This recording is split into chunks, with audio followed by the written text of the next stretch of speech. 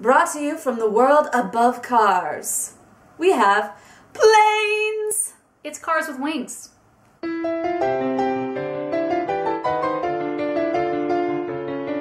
guys, I'm Morgan Stradling. And I'm Chelsea Robson. And we are the Rotoscopers, and today we are bringing you our review of the Planes Blu-ray. Fancy. Fancy. I liked this movie. As I'm watching this, there's great dialogue, there's great jokes, some puns. Puns, plane puns, car puns. Like, so great. I just, this one, when we did our original review of the movie, it was just, it totally caught us by surprise. Mhm. And we were really thrilled that it turned out so well. Yeah, yeah. For those of you who don't know, Planes is the movie about a crop duster named Dusty. Who would have guessed? And um, like all other dreamers, he wants to make it in the big leagues, but you know he doesn't necessarily have the equipment to you know be a world-renowned plane racer. He's just a lonely little crop hopper who sprays plants, and that's his life. Very mundane, very boring.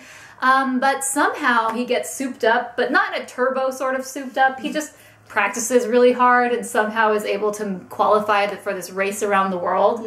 Um, and so it's basically That cars. was really odd, though. what? The qualifying round, in order to race around the world, was like a mile long. yeah, You're gonna do great, kid. Good luck.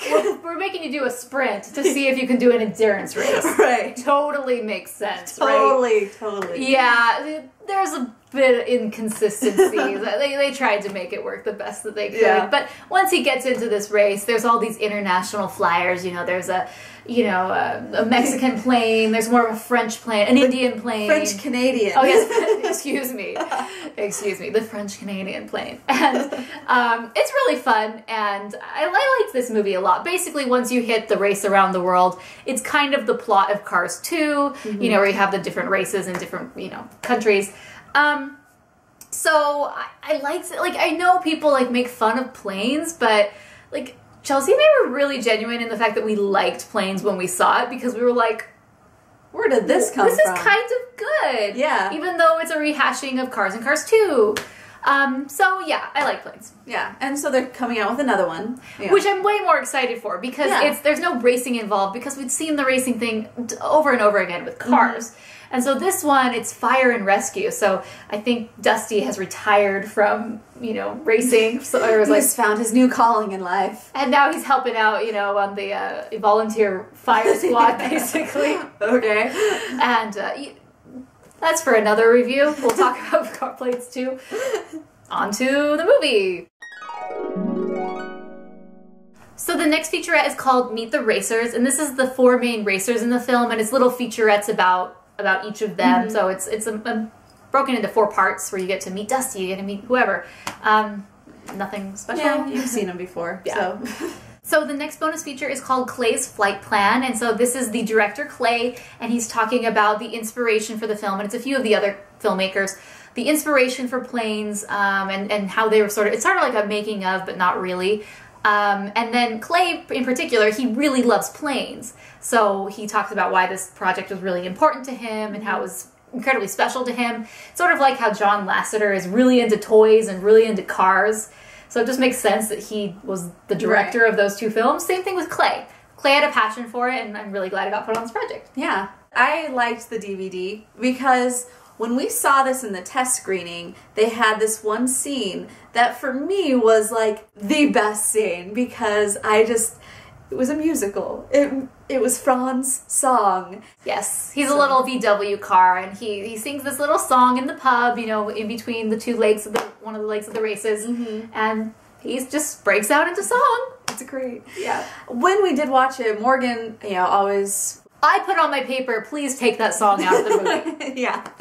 she didn't quite like it. But I loved it. But it- so they gave us the happy medium of like they took it out because it really did they kind of- listened to me. because it really did come out of left field.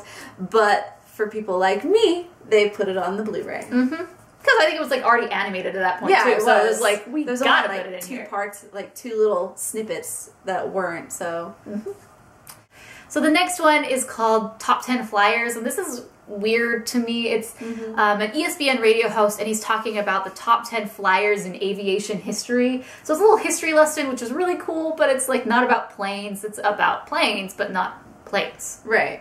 The people flying the planes. Yeah. So take it, It if you like it. That's cool. I'm sure Clay loved it. I'm sure he was like, Please include it. Include it, please. I love planes. all right, go for it.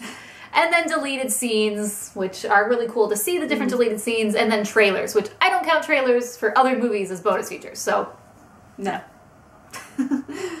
so we're gonna end this by saying it's a good movie. We gave it about three and a half stars in general. Four stars I gave it for the dialogue because it was great. so funny. And you're watching it, it's really good. The DVD, Blu-ray, it's the only way you're going to get it, so you might as well get it. bonus features, I would rate about three stars. They're really nothing special. I mm-hmm. mean, for but it, it's better than the past. that's true. At least they did something, so that's why I put a three. Yeah.